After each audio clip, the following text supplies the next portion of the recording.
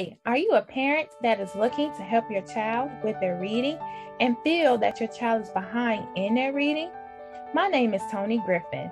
I have noticed since the school's building shut down and students had to transition to virtual learning for 12 months, many now first grade, second grade, and third graders are struggling to read. The students have developed negative self talk and are even frustrated when attempting to read at school and at home. Students who do not improve in their reading in the primary grades, their reading gap will continue to increase throughout the years. Also, their other core subjects begin to suffer. Parents, I want you to know students' reading skills do not automatically fix themselves. Many parents believe maturity correlates with reading. That is not true. A child can learn to read at the starting age of three. Parents, if your child continues to struggle while reading, their brain will engrave negative emotion towards reading.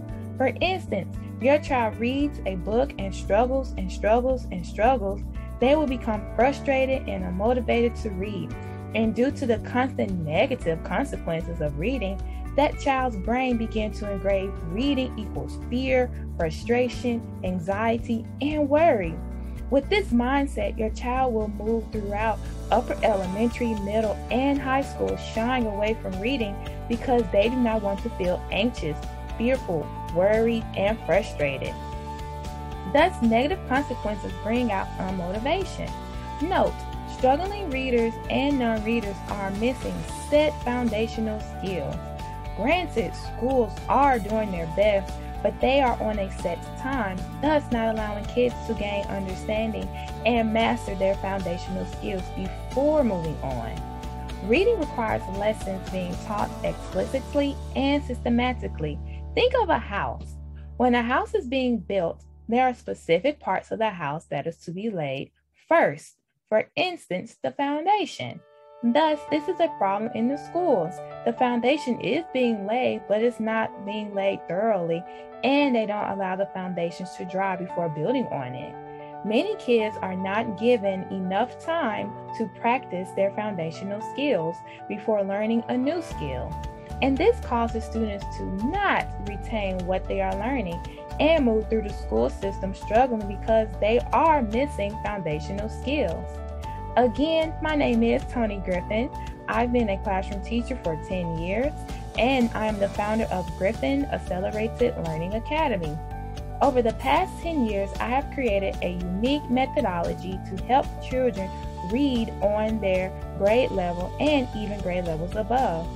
When a child learns to set skills to be a successful reader, they begin to have confidence in themselves, their grades begin to improve in other core subjects, they take ownership in their learning and want to set goals and achieve set goals.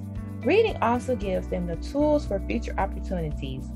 I have helped many students learn how to read, and currently, one of my students went from reading below grade level to reading on grade level.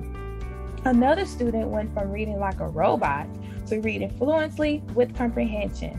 The methodology I have created and used have five steps Three steps are foundational skills, and the other two are best learning practices. Steps one through three teaches explicitly and systematically the foundational skills that most students are missing. The last two steps are best learning practices that develops and helps students retain what they are learning. For instance, steps four through five, it's like the sun or fans that dry the foundation and make sure the foundation becomes solid and don't move.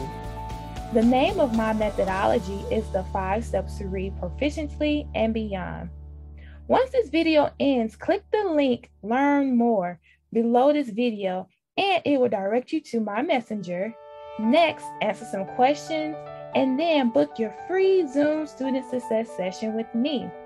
I will then message you my methodology video that explains the five steps to read proficiently and beyond. Talk to you soon.